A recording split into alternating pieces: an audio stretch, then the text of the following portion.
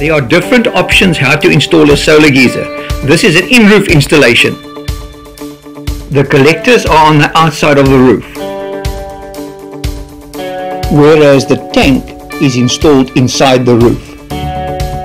Thermosiphon to work, the tank needs to be installed 300 mm above the highest point of the collectors.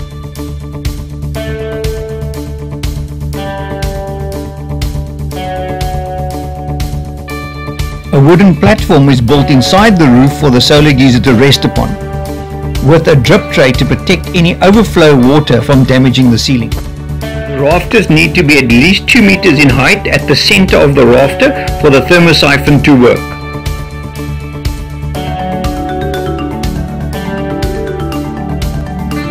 We use class 1 copper piping with quality valves. The piping will be lag so there will be minimum heat loss.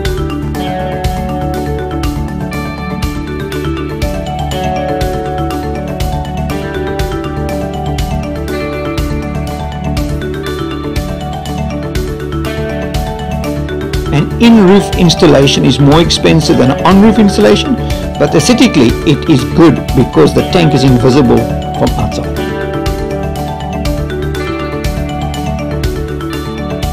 Trust this video has been of value to you and been informative. There is our contact details. If you'd like to know more, please give me a call. Let's talk.